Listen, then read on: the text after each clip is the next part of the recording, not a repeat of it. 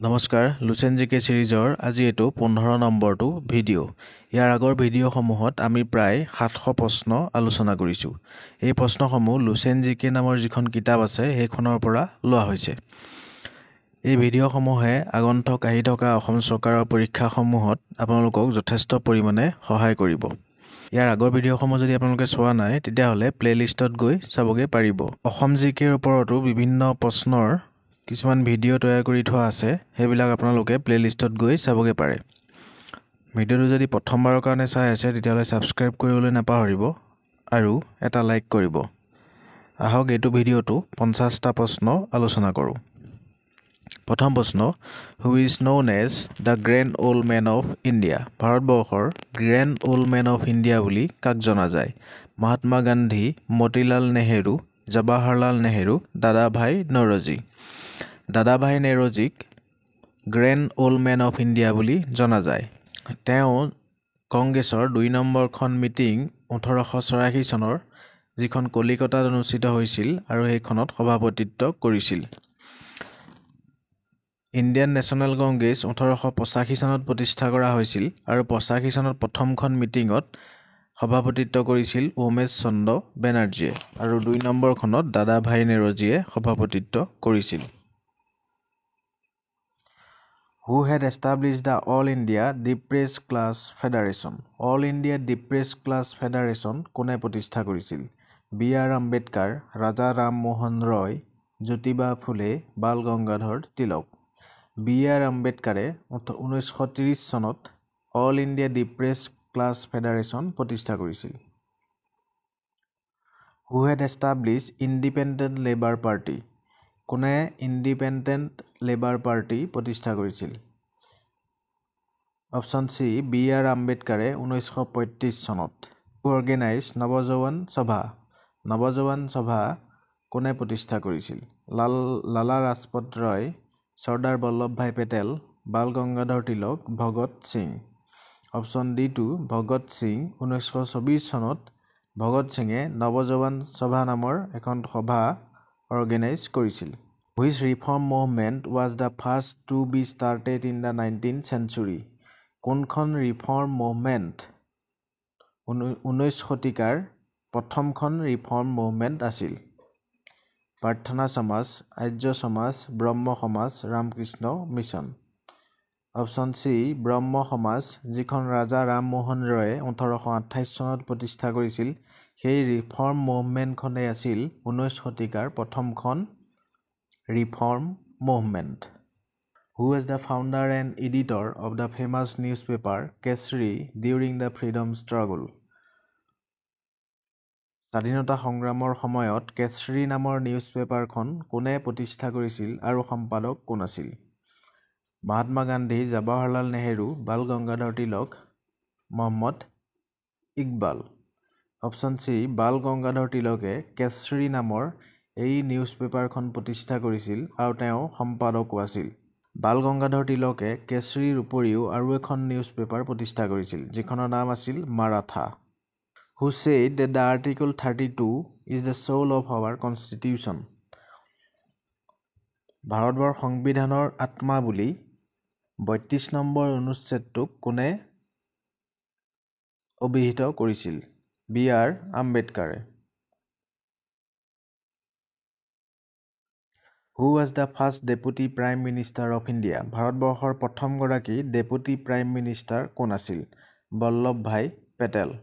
বল্লভভাই পেটেলক চৰ্দাৰ বল্লভভাই পেটেল বুলি জনা যায়। তেওঁক এই চৰ্দাৰ উপাধিটো বাৰদলী সত্যাগ্ৰহ কৰাৰ সময়ত জনসাধাৰণে দিছিল। Which part of the Indian constitution deals with directive principles of state policy ভাৰতৰ সংবিধানৰ কোনটো অংশই ডাইৰেক্টিভ প্ৰিন্সিপালছ অৱ ষ্টেট পলিচিৰ কথা উল্লেখ আছে? ভাৰতৰ সংবিধানৰ চাৰি নম্বৰ অংশত directive principles of state policy উল্লেখ আছে। Who was the second Portuguese to come to India ভাৰতবৰ্ষলৈ অহা দুই নম্বৰগৰাকী পৰ্টুগীজ ব্যক্তি কোন আছিল? আলুৱাৰেজ কেব্ৰেল। আৰু প্ৰথমগৰাকী আছিল ভাস্কো দা গামা। আলুৱাৰেজ কেব্ৰেল পোন্ধৰশ চনত ভাৰতলৈ আহিছিল। ভাস্কো ডাগামা আহিছিলে চৈধ্যশ আঠান্নব্বৈ চনত fourteen ninety eight who was the first Portuguese viceroy of India ভাৰতবৰ্ষৰ প্ৰথম পৰ্টুগীজ ভাইচৰয় কোন আছিল? Option B Francisco de Almeida which was adopted from the Mauryan empire in the emblem of government of India Bharat চৰকাৰৰ কোনটো চিহ্ন মৌৰ্য সাম্ৰাজ্যৰ পৰা লোৱা হৈছে? Four lions chariot wheel horse word Satyameva Jayate four lions option A four lions যিটো অশোক অশোক স্তম্ভত যি যি চাৰিটা সিংহৰ মূৰ্তি আছে সেই চাৰিটা সিংহ মৌৰ্য সাম্ৰাজ্যৰ পৰা লোৱা হৈছে। The president of India may appoints all the following except ভাৰতৰ ৰাষ্ট্ৰপতিয়ে তলৰ কোনগৰাকী ব্যক্তিক বাদ দি বাকীসকলক এপইণ্ট কৰিব পাৰে? Prime minister governor high court জাজেছ Rajya Sabha chairman ভাৰতবৰ্ষৰ ৰাষ্ট্ৰপতিয়ে প্ৰাইম মিনিষ্টাৰ অৰ্থাৎ প্ৰধান প্ৰধানমন্ত্ৰী গভৰ্ণৰ কোনোবা এখন ৰাজ্যৰ ৰাজ্যপাল হাইকোৰ্ট জাজেছ উচ্চ ন্যায়ালয়ৰ যিসকল ন্যায়াধীশ তেওঁলোকক নিয়োগ কৰিব পাৰে। কিন্তু ৰাজ্যসভা চেয়াৰমেন ৰাজ্যসভাৰ চেয়াৰমেনজন হৈছে ভাইচ প্ৰেছিডেণ্ট উপ ৰাষ্ট্ৰপতি হৈছে ৰাজ্যসভাৰ চেয়াৰমেন গতিকে তেওঁক ৰাষ্ট্ৰপতিয়ে নিয়োগ কৰিব নোৱাৰে। Which state of India is created firstly on the linguistic basic. ভাৰতবৰ্ষৰ কোনখন ৰাজ্য ভাষাৰ ভিত্তিত প্ৰথমবাৰৰ কাৰণে প্ৰতিষ্ঠা কৰা হৈছিল? Andhra Pradesh in which battle Sirajuddaula defeated by Robert Clive কোনখন যুদ্ধত বংগৰ নবাব চিৰাজুদ্দৌলা ৰবাৰ্ট ক্লাইভৰ বিপক্ষে যুদ্ধ দি হাৰিছিল? বেটল অফ প্লাচি সোতৰশ সাতাৱন্ন চনত হোৱা পালাচীৰ যুদ্ধত চিৰাজুদ্দৌলা ৰবাৰ্ট ক্লাইভৰ হাতত হাৰিছিল। ইয়াৰ পিছৰ যুদ্ধকেইখনৰ চনকেইটা আপোনালোকে মন কৰিব। বেটল অফ বক্সাৰ বক্সাৰৰ যুদ্ধ সোতৰশ চৌষষ্ঠি চন battle of Panipat fifteen twenty six পানীপথৰ যুদ্ধ পোন্ধৰশ ছাব্বিছ চন বেটল অফ হালদি ঘাটি হালদি ঘাটিৰ যুদ্ধ পোন্ধৰশ ছয়সত্তৰ চন। After defeat at Plassey Sirajuddaulah was assassinated by whom Plassey যুদ্ধত হৰাৰ পিছত চিৰাজুদ্দৌল্লাৰ ঠাইত কোন নবাব হৈছিল? Mir Jafar. Who was the first sultan of Delhi to issue regular currency and declare Delhi as the capital of his empire দেল্লীৰ কোনগৰাকী চুলতানে প্ৰথমবাৰৰ কাৰণে ৰেগুলাৰ কাৰেঞ্চি উলিয়াইছিল আৰু দেল্লীক ৰাজধানী হিচাপে ডিক্লেয়াৰ কৰিছিল? গিয়াছুদ্দিন বলবন ছামছুদ্দিন ইলটুটমিছ কুতুবুদ্দিন আইবাক মহম্মদ বিন তুগলক। অপশ্যন বি ছামছুদ্দিন ইলটুটমিছে প্ৰথমবাৰৰ কাৰণে মুদ্ৰা ব্যৱস্থাৰ প্ৰচলন কৰিছিল আৰু দেল্লীক নিজৰ ৰাজধানী হিচাপে ঘোষণা কৰিছিল। ছামছুদ্দিন ইলটুটমিছ আছিল দাস বংশৰ এজন শাসক। দাস বংশ প্ৰতিষ্ঠা কৰিছিল কুতুবুদ্দিন আইবাকে আৰু কুতুবুদ্দিন আইবাকৰ এগৰাকী দাস আছিল ছামছুদ্দিন ইলটুটমিছ ছামছুদ্দিন ইলটুটমিছে কুতুবুদ্দিন আইবাকৰ জীয়ৰীকো বিয়া কৰাইছিল। Who introduced the famous Persian festival of Nowruz কোনে ভাৰতত এটা ফেমাছ এটা বিখ্যাত পাৰ্চিয়ান উৎসৱ নেওৰজ উৎসৱটো পালন কৰিছিল? আলাউদ্দিন খিলজী ছামছুদ্দিন ইলটুটমিছ গিয়াছুদ্দিন বলবন ফিৰোজ শ্বাহ তুগলক। আনচাৰ চি গিয়াছুদ্দিন বলবনে পাৰ্চিয়ান উৎসৱ নেওৰজ ভাৰতবৰ্ষত ইণ্ট্ৰডিউচ কৰিছিল। গিয়াছুদ্দিন বলবনে বাৰশ পঁসত্তৰ চনৰ পৰা বাৰশ সাতাশী চনলৈকে দেল্লীত চুলতান হৈ আছিল। Which of the following technology is associated with third generation of computer কম্পিউটাৰৰ তিনি নম্বৰৰ জেনেৰেশ্যনটোত কোনটো টেকন'লজি ব্যৱহাৰ কৰা হৈছিল? অপশ্যন ডি ইণ্টিগ্ৰেটেড চাৰ্কিট কম্পিউটাৰৰ প্ৰথমটো জেনেৰেশ্যনত ভেকুৱাম টিউবছ ব্যৱহাৰ কৰা হৈছিল দুই নম্বৰটোত ট্ৰেঞ্জিষ্টৰ্ছ ব্যৱহাৰ কৰা হৈছিল তিনি নম্বৰটোত ইণ্টিগ্ৰেটেড চাৰ্কিট চাৰি নম্বৰটোত মাইক্ৰ' প্ৰচেছৰ আৰু পাঁচ নম্বৰ জেনেৰেশ্যনটোত আৰ্টিফিচিয়েল ইণ্টেলিজেঞ্চ এই টেকন'লজিটো ব্যৱহাৰ কৰা হৈছে। এই system use for locating submerged objects is known as. পানীত ডুব যোৱা কিবা এটা বস্তু লোকেট কৰিবলৈ কিবা এটা বস্তু বিচাৰিবলৈ কোনটো টেকন'লজি ব্যৱহাৰ কৰা হয়? অপশ্যন বি ছ'নাৰ টেকন'লজি আৰু ছ'নাৰ ছ'নাৰৰ ফুল মিনিং হৈছে sound navigation ranging the moon completes one round of earth in how many days পৃথিৱীৰ এটা উপগ্ৰহ চন্দ্ৰই পৃথিৱীখন ঘূৰি এপাক ঘূৰিবলৈ কিমান দিন সময় লয়? Twenty seven days which continent covers most less area কোনখন মহাদেশে আটাইতকৈ কম পৰিমাণৰ ঠাই অধিকাৰ কৰি আছে? Australia. Which city is known as Manchester of China চীনৰ কোনখন চহৰক মানচেষ্টাৰ অফ চাইনা বুলি কোৱা হয়? চাংহাই। যিখন ঠাইত আটাইতকৈ বেছি পৰিমাণৰ উদ্যোগ থাকে সেইখন ঠাইকে মানচেষ্টাৰ বুলি কোৱা হয়। Which metro' rail network is the first rail network in India. ভাৰতবৰ্ষৰ কোনটো মেট্ৰ' ৰে'ল নেটৱৰ্ক প্ৰথমবাৰৰ প্ৰথমবাৰ প্ৰতিষ্ঠা কৰা হৈছিল? Delhi metro' Lucknow metro' Kolkata metro' Hyderabad metro' Kolkata metro' হৈছে ভাৰতবৰ্ষৰ প্ৰথমটো মেট্ৰ' ৰে'ল সেৱা। Which river does not originate in India. তলৰ কোনখন নদী ভাৰতবৰ্ষত উৎপত্তি হোৱা নদী নহয়? Brahmaputra Ganga Kaveri Kanyakumari.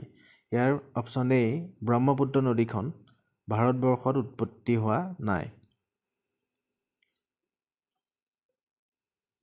Who was the author of the book my experiment with truth my experiment with truth নামৰ এই গ্ৰন্থখনৰ লেখক কোন? মহাত্মা গান্ধী। Option B. আৰু মহাত্মা গান্ধীৰ এই কিতাপখনকে অমীয় কুমাৰ দাসে অসমীয়ালৈ অনুবাদ কৰিছে মোৰ সত্য অন্বেষণৰ কাহিনী নাম দি। Who wrote the famous book Malgudi days Malgudi days নামৰ এই বিখ্যাত কিতাপখন কোনে ৰচনা কৰিছে? Option D R K Narayan. এই কিতাপখনৰ ওপৰত ভিত্তি কৰি বহুতো চিনেমা আৰু চিৰিয়েল নিৰ্মাণ কৰা হৈছে। What is the title given to Lata Mangeshkar for her contribution to music Lata মংগেশকাৰে ভাৰতৰ সংগীত ক্ষেত্ৰলৈ আগবঢ়োৱা তেখেতৰ কণ্ট্ৰিবিউশ্যনৰ কাৰণে কোনটো উপাধিৰে বিভূষিত কৰা হয় অপশ্যন এ বিশ্ব মোহিনী লতা মংগেশকাৰক বিশ্ব মোহিনী বুলি কোৱা হয় ইয়াৰ উপৰিও লতা মংগেশকাৰক মেলোডি কুইন বুলি কোৱা হয় আৰু নাইটিংগেল অফ ইণ্ডিয়া বুলিও কোৱা হয়। Carbon dioxide is release by planets during. উদ্ভিদৰ পৰা কাৰ্বন ডাই অক্সাইড উদ্ভিদে এৰি দিয়া এই প্ৰক্ৰিয়াটোক কি বুলি কোৱা হয়? ৰেছপাইৰেশ্যন। উদ্ভিদে পাতৰ সহায়ত খাদ্য প্ৰস্তুত কৰা প্ৰক্ৰিয়াটোক ফটোচেনেটিছ বুলি কোৱা হয় যিটোক সালোক সংশ্লেষণ বুলি কোৱা হয়। Idukki dam in Kerala is build across which river. কেৰেলাত থকা ইডুকি ডাম কোনখন নদীৰ ওপৰত বনোৱা হৈছে? পাৰিয়াৰ ৰিভাৰ পাৰিয়াৰ নৈৰ ওপৰত ইডুকি ধাম অৱস্থিত। India wins freedom is the autobiography of whom. India wins freedom নামৰ এই গ্ৰন্থখন কাৰ আত্মজীৱনী? Abul Kalam Azad. Which countries of South Asia is landlocked? দক্ষিণ এছিয়াৰ কোনকেইখন দেশ চাৰিওফালে অন্য দেশে আগুৰি আছে? ইয়াৰ কাষত কোনো সাগৰ নাই। ভূটান এণ্ড নেপাল। দক্ষিণ এছিয়াৰ ভূটান আৰু নেপাল এই দুয়োখন ৰাষ্ট্ৰৰ চাৰিওকাষে কোনো ধৰণৰ সাগৰ নাই। ইয়াৰ চাৰিওকাষে গোটেই দেশকেইখনে আগুৰি আছে। সেইকাৰণে ইহঁতক লেণ্ডলক কাণ্ট্ৰি বুলি কোৱা হয়। The purest form of iron is আইৰণৰ আটাইতকৈ পিয়ৰেষ্ট ফৰ্মটোৰ নাম কি? Wrought iron. Types of teeth use in grinding food is. কোনকেইটা দাঁতেৰে আমি খাদ্যবস্তুবোৰ চোবাই গুড়ি কৰোঁ বা গ্ৰাইণ্ডিং কৰোঁ? Canine incisors premolar molar. Option D molar. দাঁতৰ আমাৰ গুড়ি দাঁতকেইটাৰ সহায়ত আমি যিকোনো খাদ্যবস্তু চোবাই গুড়ি কৰোঁ। সেই এই গুড়ি দাঁতকেইটাক মোলাৰ বুলি কোৱা হয়। প্ৰথম দুটা দাঁতক ইনচেষ্টৰ বুলি কোৱা হয়। আৰু তাৰ কাষৰ যি দুটা দাঁত আছে সেইকেইটাক কেনাইন বুলি কোৱা হয়। আৰু তাৰ পিছৰকেইটাক প্ৰি মোলাৰ আৰু একেবাৰে গুড়িত যিকেইটা দাঁত আছে সেইকেইটাক মোলাৰ বুলি কোৱা হয়। খাদ্যবস্তু গ্ৰাইণ্ডিং কৰিবলৈ এই গুৰিটাত কেইটাৰ সহায় আমি লওঁ। Name the process of production of energy in the sun সূৰ্যত শক্তি উৎপন্ন কৰা এই প্ৰচেছটোক কি বুলি কোৱা হয়? Nuclear fusion if all bullets could not be remove from গানছত injury of a man it may cause poisoning by বন্দুকৰ গুলী লগা এজন মানুহৰ শৰীৰৰ পৰা আমি যেতিয়া গুলীটো উলিয়াব নোৱাৰোঁ তেতিয়াহ'লে তাত পয়জন হৈ মানুহটোৰ মৃত্যু হ'ব পাৰে। কিহৰ কাৰণে এই পয়জন হয়? ইয়াত থকা লিডৰ বাবে। লিড নামৰ যিটো পদাৰ্থ আছে সেই পদাৰ্থবিধ বন্দুকৰ গুলীত ব্যৱহাৰ কৰা হয় আৰু এই লিডটোৱে আমাৰ শৰীৰৰ ভিতৰত বিষাক্ত দ্ৰব্য উৎপন্ন কৰে আৰু সেইকাৰণে গুলী লগা মানুহটো বেছি দেৰি জীয়াই নাথাকে। Where is the most higher altitude civilian airport is situated আটাইতকৈ ওখ জেগাত থকা চিভিলিয়ান এয়াৰপৰ্টটো কোন দেশত অৱস্থিত? অপশ্যন এ চাইনা আৰু এই এয়াৰপৰ্টটোৰ নাম ডাওচাং য়েল্ডিং এয়াৰপৰ্ট ই সাগৰ পৃষ্ঠৰ পৰা চাৰি হাজাৰ চাৰিশ এঘাৰ মিটাৰ ওপৰত আছে। Quinine is the first effective treatment of which disease quinine নামৰ এই ট্ৰিটমেণ্টটো কোনটো বেমাৰত ব্যৱহাৰ কৰোঁ? Malaria. Which country has the longest overland tunnel কোনখন দেশত আটাইতকৈ দীঘলীয়া মাটিৰ তলৰ তলেদি সুৰংগ আছে? ছুইজাৰলেণ্ড। আৰু ছুইজাৰলেণ্ডত থকা এই টানেলটোৰ নাম Lotschberg base tunnel who is the guardian of fundamental rights আমাৰ মৌলিক অধিকাৰসমূহৰ গাৰ্জেন অভিভাৱক বুলি কাক কোৱা হয়? জুডিচিয়েৰী ন্যায়পালিকাক কোৱা হয় আমাৰ মৌলিক অধিকাৰসমূহৰ গাৰ্জেন কাৰণ কেতিয়াবা মৌলিক অধিকাৰ খৰ্ব হ'লে আমি ন্যায়পালিকাৰ কাষ চাপিবলগীয়া হয়। What is the longest bone of human body মানৱ শৰীৰৰ আটাইতকৈ দীঘলীয়া হাড়ডালৰ নাম কি? ফিমুৰ ফিমুৰ নামৰ এই হাড়ডাল মানুহৰ ভৰিত থাকে।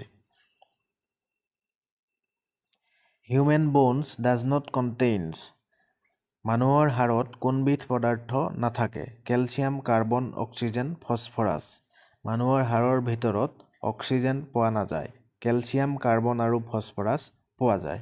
Which instrument use to measure humidity humidity জুখিবলৈ কোনটো ইনষ্ট্ৰুমেণ্ট ব্যৱহাৰ কৰা হয়? Hygrometer which state has the highest number of seat in Rajya Sabha ৰাজ্যসভাত আটাইতকৈ বেছি পৰিমাণৰ আসন থকা ৰাজ্যখন কি? উত্তৰ প্ৰদেশ। উত্তৰ প্ৰদেশৰ পৰা একত্ৰিছটা ছিট ৰাজ্যসভাত আছে। The Mana pass located in which state কোনখন ৰাজ্যত মানা পাছ অৱস্থিত? Uttarakhand. The Kiel canals connect with Kiel canal canal অৰ্থাৎ খাল কিয়েল খালে কোন দুখন সাগৰক সংযোগ কৰে? Baltic sea and north sea Baltic সাগৰ আৰু উত্তৰ সাগৰক সংযোগ কৰে। Saliva helps in digestion of আমাৰ লালুটি মুখত থকা লালুটিয়ে কোনবিধ পদাৰ্থ ডাইজেশ্যনত সহায় কৰে? ষ্ট্ৰাক্স which of the following river is west flowing তলৰ কোনখন নদী ৱেষ্ট ফ্ল'য়িং এখন পশ্চিমৰ ফালে বৈ যোৱা নৈ। সেইখন হৈছে চেনাব। আৰু চেনাব নৈখন হৈছে সিন্ধু নদীৰ এখন প্ৰধান উপনৈ। What is the largest organ of human body মানৱ শৰীৰৰ আটাইতকৈ ডাঙৰ অংগটোৰ নাম কি? মানৱ শৰীৰৰ ডাঙৰ অংগ বুলি ক'লে ভিতৰৰ অংগ বুলি যদি সোধে তেতিয়াহ'লে সেইটো হ'ব লিভাৰ। আৰু বাহিৰৰ অংগ বুলি ক'লে সেইটো হ'ব স্কিন অৰ্থাৎ ছাল। Tocopherol is the chemical name of which vitamin? কোনটো ভিটামিনৰ কেমিকেল নামটো টকোফেৰল? Vitamin E.